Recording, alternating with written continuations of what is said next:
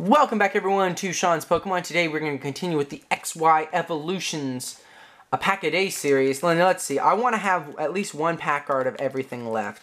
So let's open up this uh, Mega, or I guess this Venusaur pack, Mega Venusaur.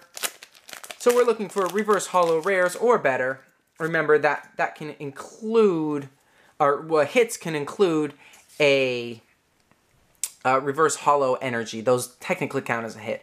And the secret rares, which are so disappointing in the set, do technically count as hits as well. So we have an Onix, we have an Nidoran Male, Poliwag, Grass Energy, Rattata, Super Potion, Brock's Grit, Maintenance, Reverse Hollow Growlithe, which is only a common, and we got a Mega Mewtwo EX. Wow, we got a hit.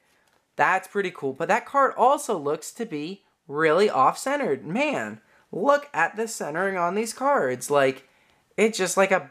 I mean, the card looks like almost perfect anywhere else. Like, it's just the centering on these cards are just so, so bad. Some are really good, some are really bad.